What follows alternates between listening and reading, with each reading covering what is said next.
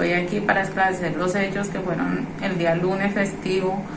que eh, fui capturada por una agresión a un señor en el barrio Popularia con una tijera. En realidad yo no lo iba a agredir, el señor me agredió primero porque el señor ya está acostumbrado a agredir tanto a los niños como a las personas que pasan por cerca de su casa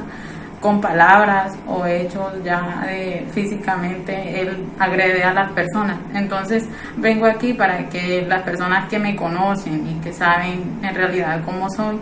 pues no, no tengan un mal concepto de mí, ya yo nunca he hecho estas cosas, el Señor es quien me tumba de la moto y me, y me maltrata. Y se agrede él mismo, fue algo que se hizo él mismo con la tijera, porque él me cogió del brazo y tenía la tijera en la mano, pero no era porque le iba a hacer un daño, sino porque él mismo se lo hace en el forcejeo que tenemos.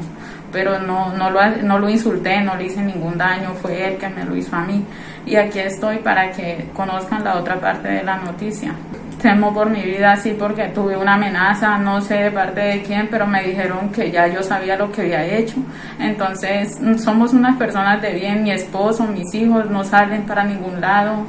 yo tengo unos bebés, entonces me dijeron que tuviera en cuenta a mis hijos porque no iba a ser que pasara un bonito diciembre.